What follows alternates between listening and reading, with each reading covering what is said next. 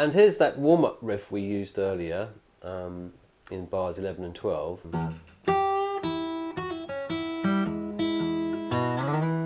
Including that slide now up to the 7.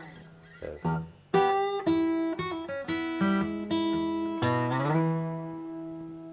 And it kicks into the rest of the tune.